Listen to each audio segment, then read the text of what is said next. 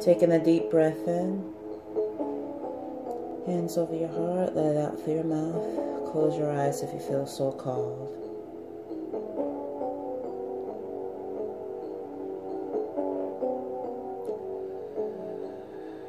And just feel your heart.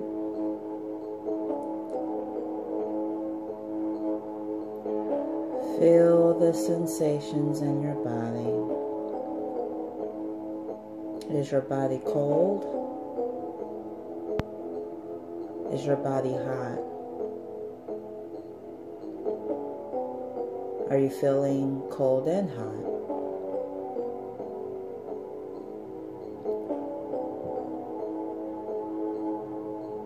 How do your feet feel?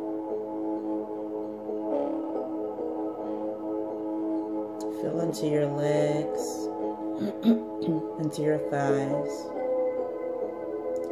your hips, your abdomen, your glutes, and your back, your shoulders, arms, hands. Is there any discomfort? Is there any pain?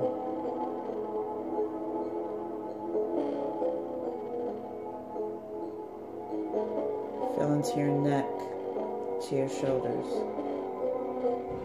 Feel into your head.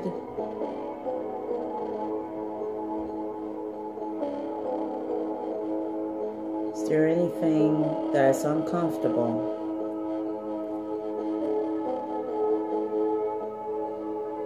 Does your body fell off?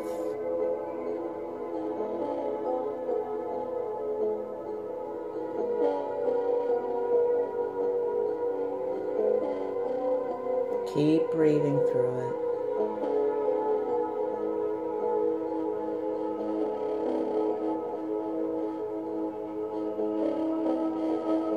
Be patient with your body.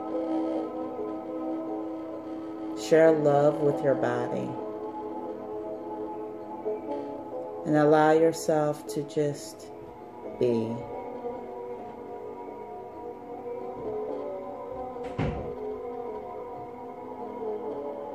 Allow yourself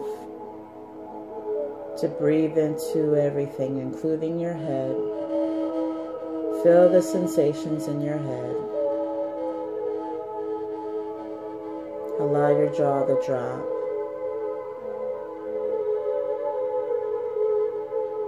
Is there any low frequency that you're feeling? If so, it's okay to feel that. Is there any high frequency that you're feeling? If so, it's okay to feel that. Just allow yourself to be in the body and to just feel.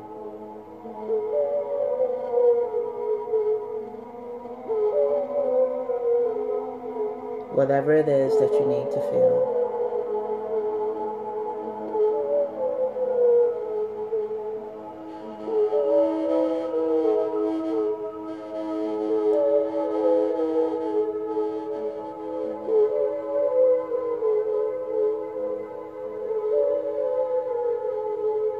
Focus on your breath and the sensations in the body.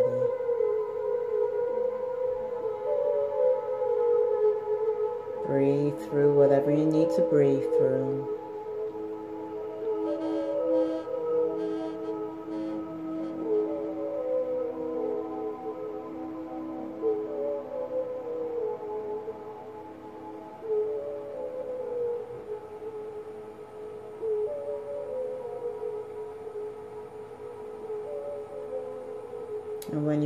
Blink your eyes open.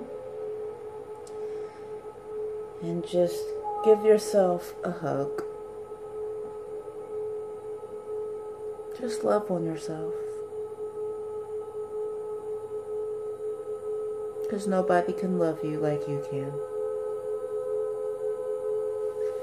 Feel free to watch this as many times as you need to. Hello, everyone. My name is Stephanie. I'm here to support you through recovering from religious and emotional trauma. And those of us that are healed, I'm here to support you as you keep going. Cause, because we may be healed from our past, right? But there's still more lessons, there's still more to learn. So, um, there's been a lot of transitioning for me. I have now moved. It's been a lot transitioning. and I think it was going to be a lot. But when you have different things in different areas, it it I'm learning I'm so in tune now that it disturbs. It's almost like a disturbance, like a small little chaotic disturbance. But, you know, you just keep going through it, and then by the 30th, you know, I closed my business, and then I got the rest of my things. I turned in my keys for both places. And now it's like, oh, okay, now I feel more aligned. I feel more with me. So on the podcast that I watch, um, it was saying something about people in your past um, coming up um, into your life. And for me, someone in my past did come into my life. Um, that's not what I meant to happen, but it did happen. And the whole point of the person coming back into my life was so that way I could end it, but on a good note. I could actually say how I felt about this person and tell them and have an ending because they were not meant to stay in my life continuously. It was just to do what I did not do in the past, almost like going back and correcting. Because before I, I would just ghost them, and or they would ghost me. And this time there was no ghosting. There was me saying how I felt, being vulnerable, being open, and just leaving it. So um, it felt really good to do that. Um, and um, it feels good to just be with me and just to focus on myself. And when I was looking at what where the moon was at that time, the moon was actually in Pisces.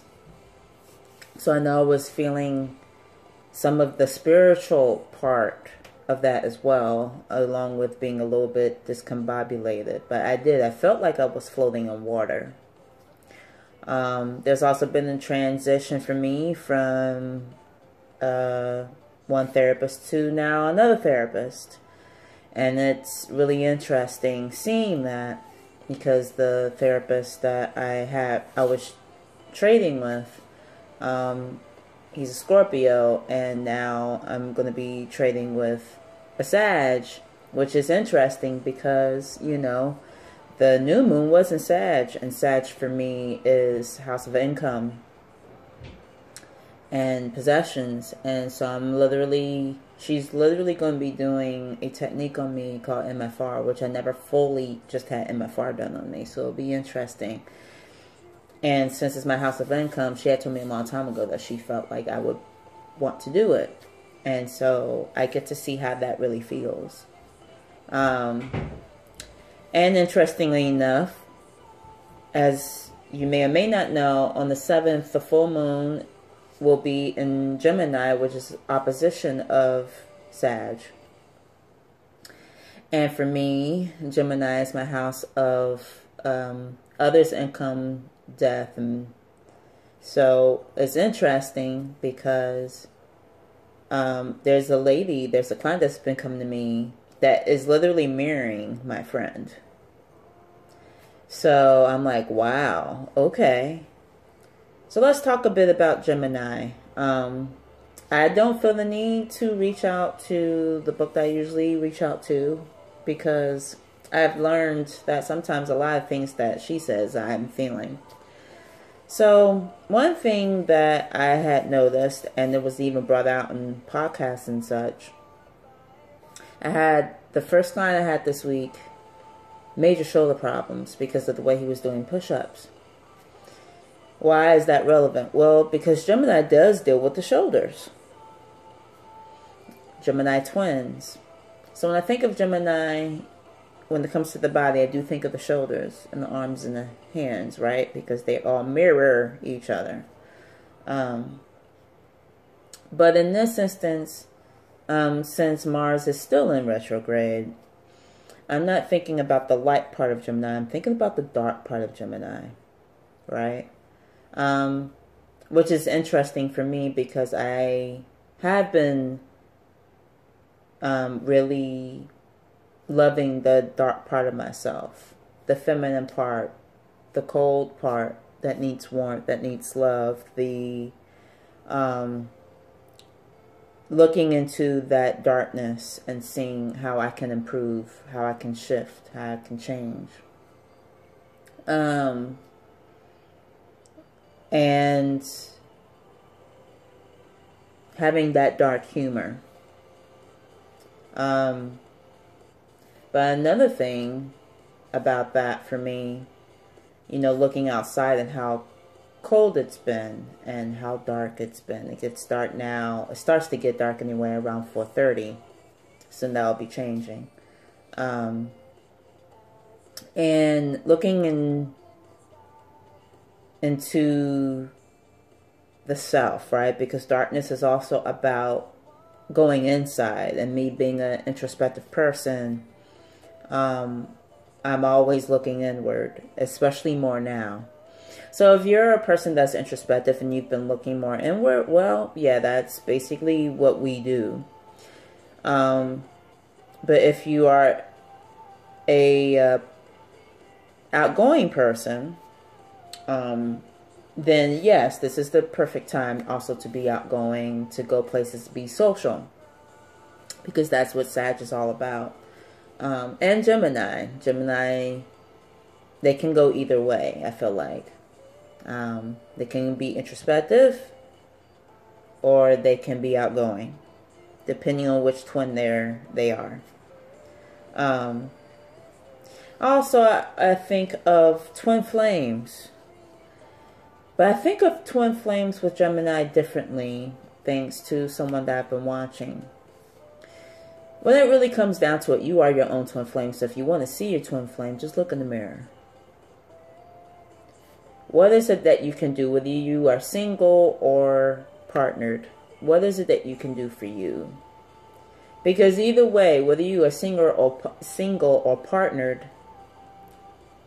the way for a relationship to work is for you to go inward and look at yourself instead of pointing and blaming and blaming and blaming. Going inward and looking at the self and seeing how you can shift, how you can improve setting boundaries of, you know, this is my boundary. If you're compromising, you know, being willing to compromise, but your partner being willing to compromise. But it all starts with you. It all starts with you. So there is also that part of the Gemini. Now Gemini is an air sign, and you'll you'll note that when we started this, um, I had to breathe and that's why because Gemini is very much an air sign, but also very, very intellectual. Gemini is a very intellectual. They they have to be right, right? That's a that's a Gemini that is is not balanced, if you will, when it comes to one twin. When it comes to the feminine and the masculine aspect, that's how I'll say it. Because they're not connected to the right and left side of their body together. So if they're just right side, then yeah, they're very intellectual. They're very, or if they're more left side, then they're very um, nurturing and people pleasing and stuff, right? So, but how can there be a balance? Because this is what we're going toward. We're going toward a balance. We're going toward something that we have, a lot of us have never been to before. So how can we go there? Within the self. Um, and the full moon, which will be at its peak on the 7th. What is it that the full moon is showing? Because now, as the dark is being uncovered, what is the full moon showing you? And when it comes to the cycles, I noticed that there are a lot of us women in our cycles that are literally having this dance with the moon. Right? The whole point of a woman being in cycle is to be in that darkness, right? They used to call it the red tent. And what used to happen is that women would go somewhere alone and things would be revealed from the from the creator to them during this time, which is why I've learned to embrace my cycle. I know not every woman does, and I totally understand because of genetics and such that, you know, some cycles are harder than others. But if you learn to embrace and to just love yourself through that, you get to feel the ups and downs, right? Of the cycle, the shift and changes of the cycle.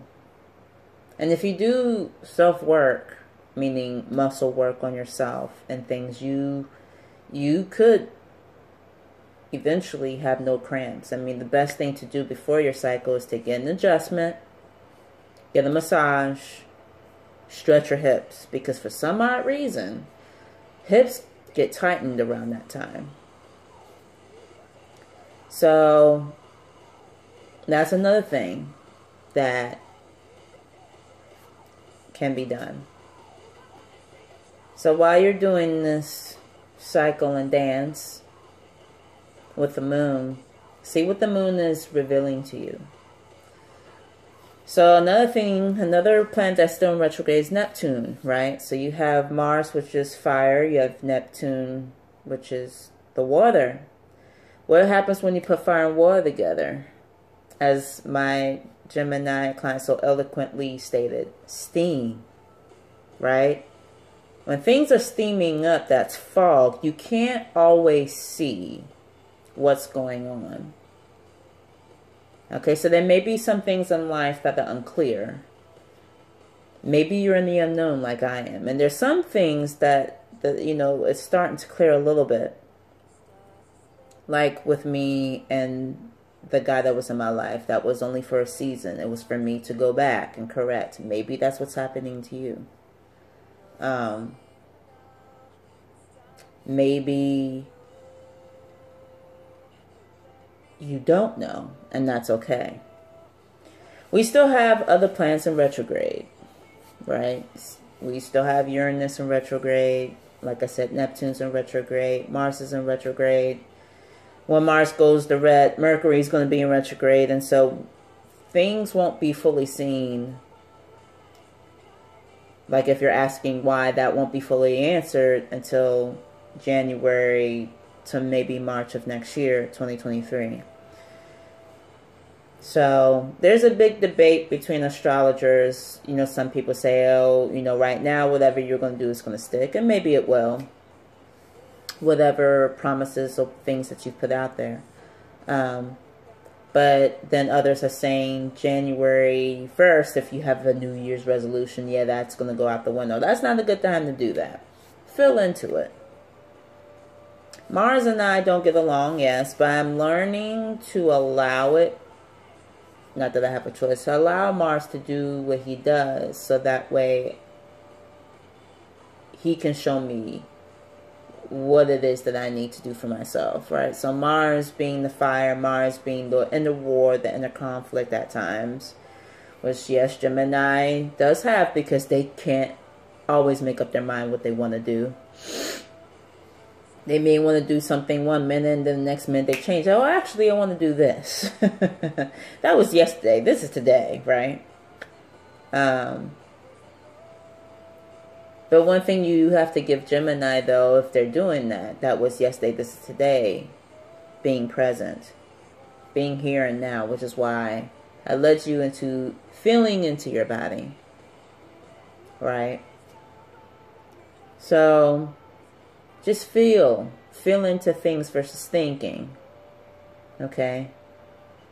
Because in reality, from what my experience has been, Gemini, yeah, they can be intellectual. But remember, we have other. We're all made up of all the constellations or zodiac signs. So you can always tap into the Sag of yourself and start to feel the Cancer side and start to feel the Scorpio and start to feel. Yes, Scorpios can feel when they allow themselves to, when they don't allow themselves to be blocked. It may not be like a Cancer, but they can feel. So, what will happen if you did feeling versus thinking? Just feeling in and breathing in and listening to your body, which was the whole point of that exercise. Just listening to your body. What is your body trying to tell you? Your body will tell you if you're not supposed to be around a certain person in a certain situation. Right? So, as you breathe through, what is your body trying to tell you? Are you embracing that dark and that light part of you? Are you realizing that you are your own twin flame? And as you love yourself and get deeper and deeper into that love and what that means for you, everything is just going to come together.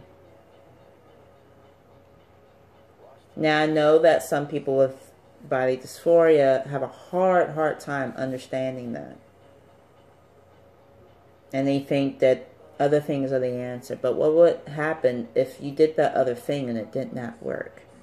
It really does go down and come down to just loving yourself and your body, even though it's imperfect.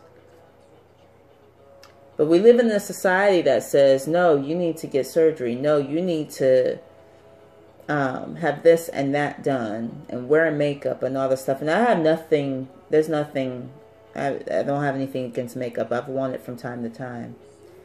But what would happen if you just loved yourself? If makeup is a thing, if it's a if it's a focus for you, like I have to do this all the time, maybe not do it.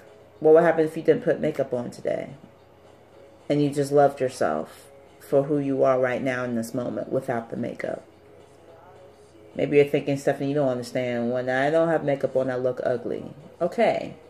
Maybe that's how you look at yourself. What would happen if you shifted that perspective and said, even though I, I'm not wearing makeup, I am still beautiful? And just feel into that and see how that feels for you. Feel into your heart and see what your heart feels when you no longer have makeup on. I'm not saying stop wearing makeup. I'm just giving this as a as an example, as a suggestion, if you will. Okay. So why am I saying all this? Because it is when you're in your divine feminine that you attract your divine masculine.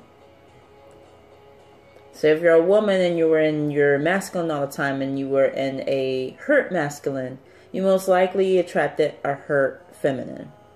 Or if you're a woman that likes other another woman, you can look at it that way. Same thing if you're a man that likes another guy. Okay. Um. So, what would happen if you stood in your feminine, which is gentle and nurturing, yes, and you attracted a divine healed masculine? because you're a healed feminine. Now, if you're not there yet, that's okay.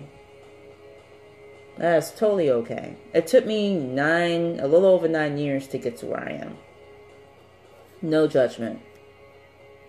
Just want you to feel into it and see what calls to you in this in this video. One of the things that really uh, spoke to me also was what was love for you back then? You know, we've all grown up with our parents' version of love.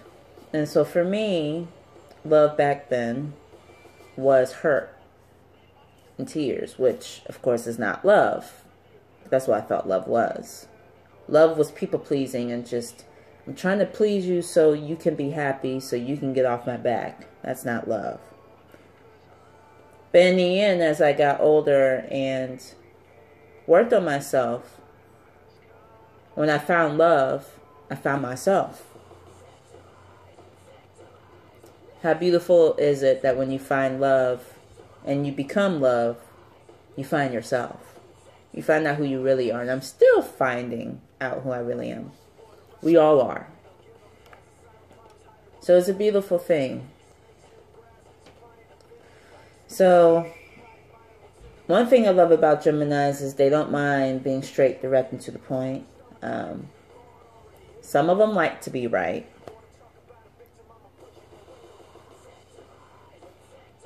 Everybody's different. But then Geminis have that other side, which is where we are right now. And I, and I know and I feel like it's this dark side, this feminine side, that really helps them. So, how do you know that this applies to you? Well, if you are Gemini Sun, Gemini Ascendant, and Gemini Moon, if you have planets, uh, let me see, Gemini would be the third house. So if you have planets in the third house, um, this applies.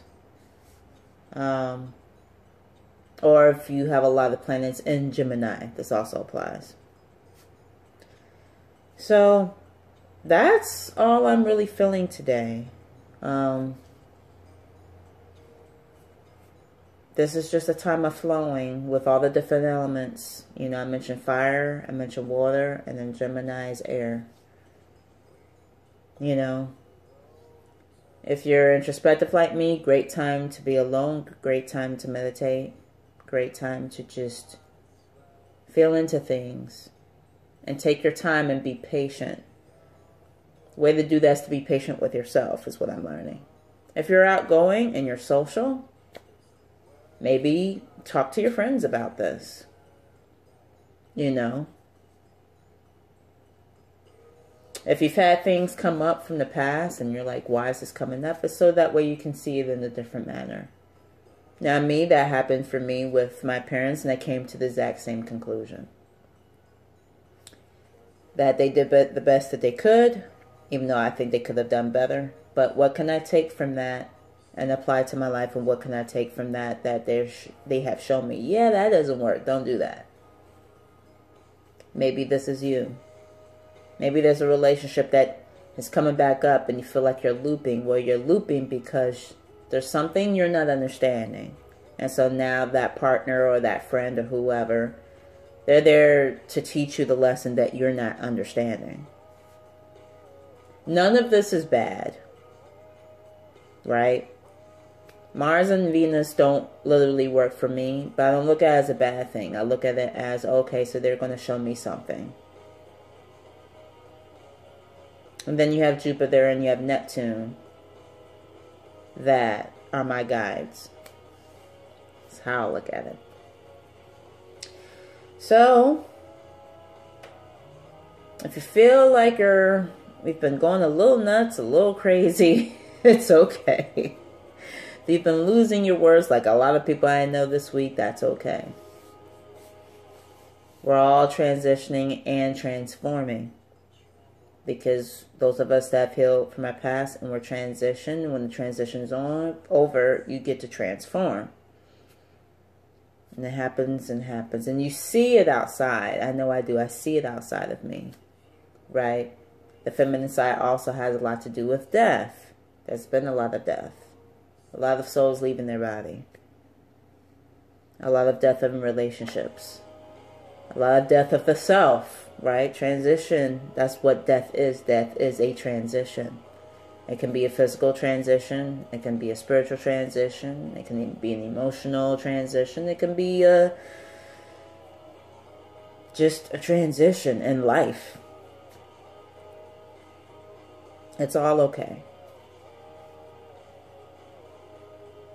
So, if you like this, just like, subscribe, and share and know that you are loved and that nobody can love you like you can. Enjoy the full moon. Enjoy what grandmother shows you. And I will talk to you soon.